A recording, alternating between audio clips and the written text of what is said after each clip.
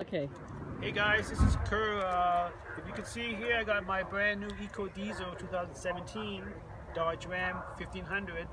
Uh, decent price, service was excellent, agent was excellent, and overall I'm very, very happy with the purchase.